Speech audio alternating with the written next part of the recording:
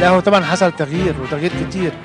على الأقل في إنجازات حصلت على أرض الواقع في مباني في المنظمه الإدارية الجديدة كل ده اتعمل. مصر اولا أم الدنيا وبنشكر ربنا إن ربنا بعت لنا سيادة الرئيس السيسي لأنه عمل كل شيء حلو في مصر كل خير من أجل جميع الناس اللي في مصر. تحيا مصر تحيا مصر تحيا مصر. كل خطوة أمجادك تبقى بحياة مصر حياة أفضل مخلصين